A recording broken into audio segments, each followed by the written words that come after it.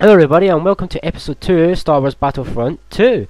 We're going to start the Rise of the Empire campaign, so let's waste no time and get right into it. New game, since I've already done this once.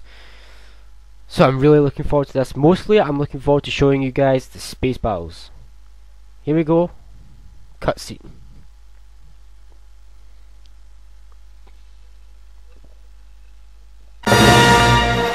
Okay, maybe not. Had no idea that the music was going to be there. Totally forgot. Okay, so here we go. The first level, Mygeeto, amongst the ruins. Playing as the clones for this part. A powerful energy source must be acquired from the CIS manufacturing plant. One downside about the campaign is we are not going to get to play as the robots or the rebels. Yeah, I know, that kind of sucks, but I'll do a video on both of them, showing off each of them. Instant action. Oh, sorry, can't watch that. Still don't want my videos to get caught for copyright. Amongst the ruins, General Ki-Adi-Mundi is leading the attack on the CIS manufacturing planet of Mygeeto. A powerful energy collector supplies power to its factories. Destroy the energy collector and recover the unique power crystals from its core. Sounds simple enough. As you can see, with the clone trooper on the left, the clone troopers are not the same as what they were in the first game. They're not all white. They've now got this blue stripe going down them. I don't quite get it, but hey ho, change is a change, eh? Here we go. A little cutscene from the 501st Diary.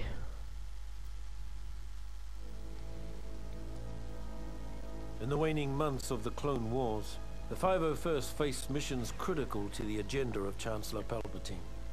When we arrived at the bombed-out ruins of Mygeeto, our Jedi commander believed we had been sent to take out a droid energy collector. What Ki-Adi-Mundi didn't know, however, was that our unit of the 501st was really after an experimental Mygeetan power source that the Chancellor wanted for his super laser. Keeping Mundi in the dark wasn't easy. The Jedi had become increasingly wary of the Chancellor's doings, and were on the lookout for the slightest hint of treachery. Just like the rest of them, though, he never caught whiff of what was really going on until it was far too late. So as you can tell from that, we're pretty much on the well, the good guys, but not so much the good side. So here we go. Jet Trooper, you actually need to get points to unlock certain classes now. Which kind of, it's interesting. But there they go, there's the new uh, clone class I was talking about, the clone commander. He's kind of interesting. So let's go to sharpshooter. I've missed sniping. So there we go. Cross the bridge and capture the forward command post inside the central building. Okay. We've got 60, they've got unlimited. It hardly seems fair, doesn't it?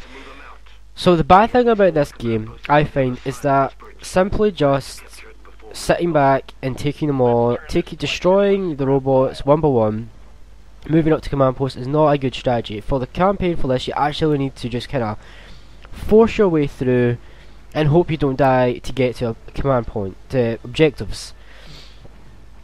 I'm not a big fan of that. I really am not. I would much prefer that the enemy have a set limit, a set number of reinforcements, and then maybe you can take that number out and then have a clear shot to your objective. But it's not the way, and that's in your clone uh, trooper, uh, not not clone, but uh, droid unit. It's like a Magna. It's like the General Grievous's, um, General Grievous's um, body bodyguards, except they carry pistols that shoot rockets, basically. I don't understand how that works, but uh, there we go. We have it. So we've got the first objective. Don't lose that many people. Take out those particle cannon turrets to clear the way for General at Ki-Adi-Mundi's arrival. This objective, really simple. Get into the at, I think it's an at, come over here, shoot them. Use this, use the mortar cannon. If I can, if you can hit, there you go, and you, as you can see, one hit takes them down. Well, two hits. there you go, done. And now we can play as Ki-Adi-Mundi. Done! So now we have to come over here and destroy the shield barricade. As Ki-Adi-Mundi, it's no problem. Done. as you can see, the objectives in this first. Capture the northwestern command post that will serve as a launching point for our assault on the energy collector. And I was talking about in my first video that you can die. That guy just took me out as a Jedi because I wasn't paying attention. But it's okay. Let's show off the clone commander. The clone commander has a machine gun that basically it takes time. Oh no, it was an it was an AAT that took me. It takes time to warm up, uh, but when it does, uh, it is quite devastating. And it's he's also got a rally defense increase for his. It's like a support skill. I mean, I've never really been that big on the clone commander unit. I've never really liked him. I guess in the right hands, he could be a very, very good uh, unit, but hmm, not really that fond of him. There we go. Take him out. The annoying thing, the machine gun does have unlimited ammo, but it will run out and overheat quite a bit. Now destroy the energy collector core. This core powers the facilities in the area. Shut it down and we'll be able to significantly impair their ability to manufacture droids. So swap, I don't like this. Let's go to sharpshooter. Sh as you can see, the character models have been improvised from the last one. He just healed himself. There you go. Through here. Now, uh, I think we want to take out this shield generator so we can have an easier time of going through. There we go. Uh, no scope, no scope. Yes, I get it. Yes.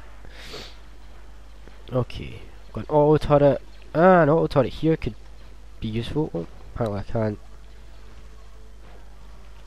They're called the Magna Guards. I don't understand how their pistol. Come on don't understand how their pistol rocket launcher works quite exactly, but yeah, I'm not going to question. There we go, that's that done. As you can see, their aim is quite terrible. Should have killed me long ago.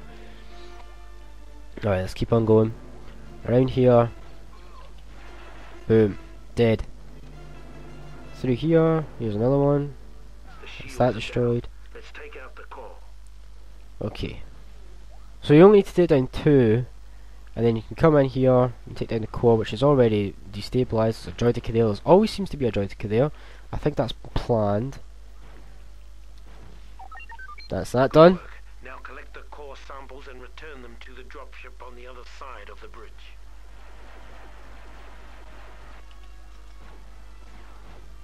Now here comes the difficult part in the mission. Sorry, I had to focus here at Karat Droideka. You need to pick up this, basically like flag from Capture the Flag, and you need to get to your ship, where basically where you started.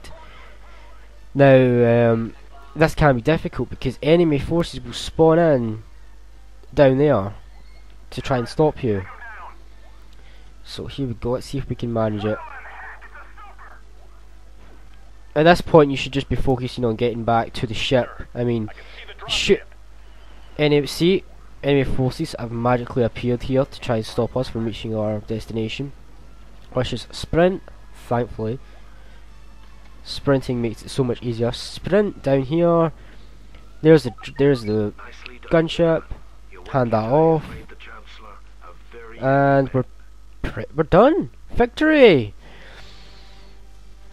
So, to be very honest with you, I did prefer the kind of campaign from. The oh, success of the mission on Mygeeto was something of a revelation for the men of the 501st.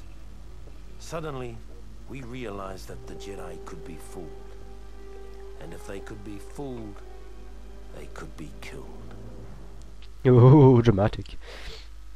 To be honest with you, I did prefer the campaign from Star Wars Battlefront 1 where it wasn't so much objective based and more so tactical based where you actually had to think about how to win and then now it's just like go from A to B, A to B, A to B, A to B over and over and over again, hold off, do the objective, move to the next one. It's kind of takes away the fun of it to be fair.